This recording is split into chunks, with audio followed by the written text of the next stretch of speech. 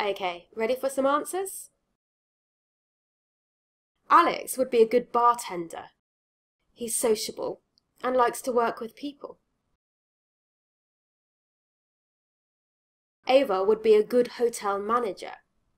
She is good at problem solving, is a good communicator, and enjoys making sure everything is running smoothly.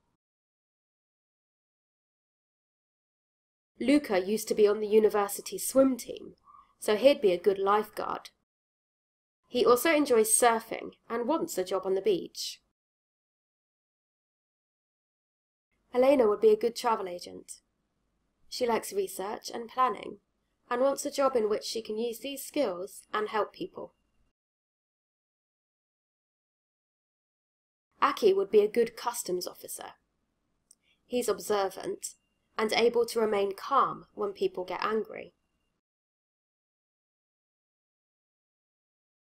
Intan loves travel. She is friendly and she knows first aid, so she'd be an excellent flight attendant. Dara would make a good tour guide. He's interested in local history and wants a job where he can use this knowledge and also help people.